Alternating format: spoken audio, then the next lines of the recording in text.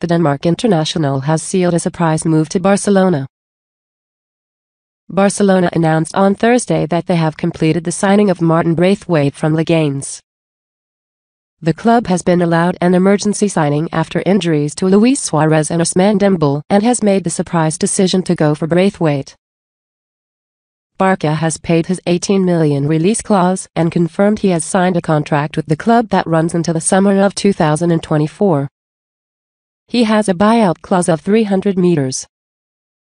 FC Barcelona has paid the buyout clause of the player Martin Braithwaite and therefore he is no longer contractually tied to Club Deportivo Leganés. The cost of the clause was 18 million euros.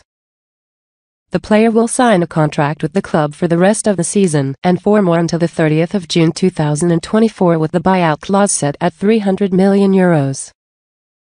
Braithwaite has six goals and two assists in La Liga this season and is only eligible to play in the league for Barcelona in 2019-20. His arrival will strengthen Quique attacking options and will allow him the option of giving Lionel Messi, Antoine Griezmann and Ansu Fati some rest. Welcome to Barcelona Martin Braithwaite.